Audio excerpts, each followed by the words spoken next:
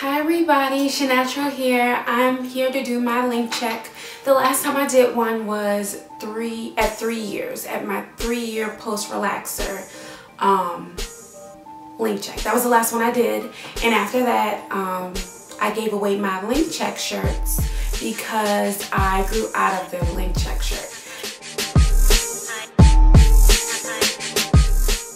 Currently, I do not have another length check shirt and I, I'm not really sure if I plan to get another one. I'll probably just try to use landmarks or whatever. Um, I do, my goal is to get to waist length, hopefully this year, um, but we'll see. Uh, so I'm not really, I want waist length, but I'm more concerned about the health of my hair. Um, in my absence from YouTube, I have gotten a trim twice. Um, and I would say probably an inch to an inch and a half taken off. No excuses, but I am um, saying that I did clip my hair. So let's go ahead and get started.